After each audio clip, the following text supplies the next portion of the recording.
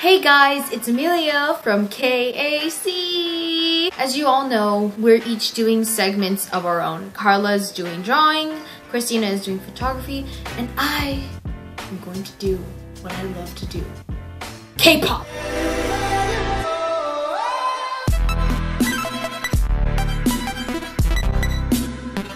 Okay, so if you don't like K-pop, please don't click out of this video. Just hear what I have to say. So let me give you a little breakdown of what K-pop is. So K-pop itself is not really a genre.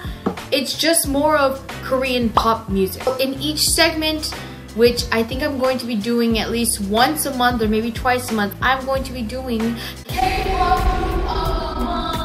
So this month, you know I gotta do this, but is EXO. EXO is a southern southern Korean slash Chinese boy band based in Seoul, South Korea. When they started, they had 12 members. Currently, there are nine. So I'm gonna be going by years. EXO came to be in May of 2011.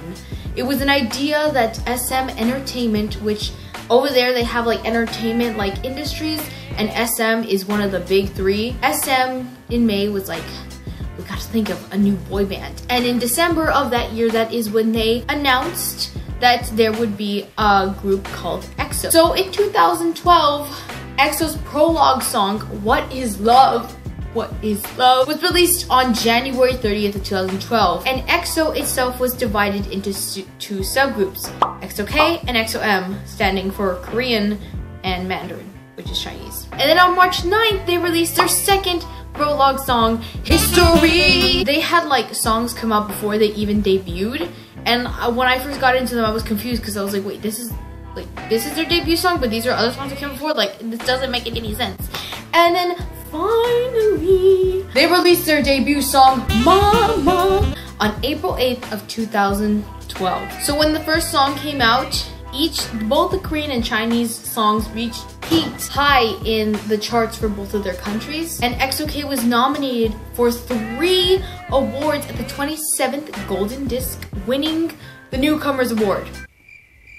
Guys, that's like winning a participation award at a science fair, kind of. I don't know, that's how I see it. Anyway, continuing on into 2013, their first studio album was released June 3rd of 2013 and it was called XOXO. Both in, again, I said Korean and Chinese. And then they had, they do things called repackaged. It's basically all the songs from the album that they released. And then the repackaged of XOXO was Growl. Anyway, and that was released August 5th of 2013. It peaked many of the charts. All XOXO albums were collectible and sold over 1 million copies, making EXO the first Korean artist to sell over 1 million copies of one album in 12 years and the fastest selling K-pop act of all time. Anyway, I have a little info of this. In XOXO, the main song, the music video that came out was was Wolf. Wolf, they have music shows where they live. All these music shows and their first win was with Wolf. They were super happy and everything and then there just kept going on. Now we move on to 2014. Did I mention that Mama was their first mini album? EXO's second mini album was released May 7th of 2014. It was supposed to release April 21st but because of the ferry incident on April 16th, they delayed it yeah, that was a really sad incident. A lot of people died. I'm just gonna say right now, the year 2014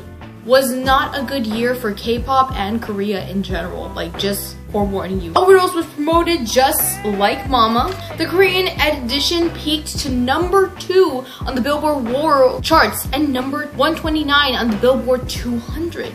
Overdose became the best-selling album in South Korea in 2014. Honestly, that was that was a good album. It was a really good album. On May 15, 2014, it was confirmed that EXO-M's leader, Kris, had filed a lawsuit against the agency and wanted to terminate his contract due to his human rights being violated. Yeah, it was not a good year. Right after Overdose came out, he was like, peace, I'm gonna, I'm gonna leave. And then to get even worse, October 10th, EXO's M. Luhan also filed lawsuit to nullify his contract SM announced that EXO would promote with only 10 members. Like I said, it wasn't a good year for EXO. I mean, the songs, they did very well, but it it just wasn't a good year for like the members itself. And like, I can't blame them. You're probably like, oh my god, why did they leave? Bunch of you in K-pop already knows. The thing is with the Korean industries, they aren't very well like with giving their idols a break. Their idols are always doing something.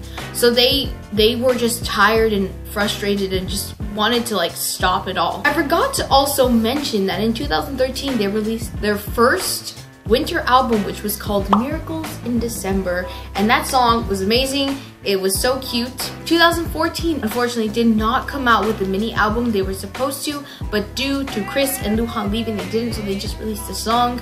And yeah, that was it. Going into 2015, okay, this is where I come in because this is where I got into K-pop or I like actually got into this group because I knew about them but I really didn't care about them at the same time. Like I liked the songs and I just didn't care about the members. So here we go. So EXO's first solo concert was announced on January 2015 entitled Exoplanet number two the Exolution starting March 7th on February 4th SM filed a countersuit against Kris and Luhan for legally continuing their promotion in China so they kind of left and were like, peace, we're not gonna deal with you. EXO's second album, Exodus, was released on March 30th of 2015. Oh my gosh, I love this song. 50,000 albums were sold within the first 24 hours. The title track, Call Me Baby, was released on March 27th due to leaked versions of the song. I remember that. Like, that's never really been done before. They put all the songs out to say, hey, this is this is ours. This is not yours. So they put out the songs already and then they released a music video. Call Me Baby won 18 times on music shows in South Korea. On April 22nd, 2015, Tao's father posted a Weibo, Weibo, Weeb, Weibo, or Weibo, Weibo, Weibo, whatever, is like a Chinese Facebook almost. Like it's kind of like Instagram, but for China, I, I don't honestly don't know. Expressing his sentiment for his son to withdraw from EXO and to return to China. So basically, Tao had injured himself, and I remember, remember correctly, he was only able to perform perform on one of the music shows and then the rest like his foot was really messed up and his dad just wanted him to come home. So after that he left the group. And continuing on with 2015 august 24th tao's contract was officially terminated. So tao was out of the group and now exo was only promoting with nine members. On june 3rd the repackaged album called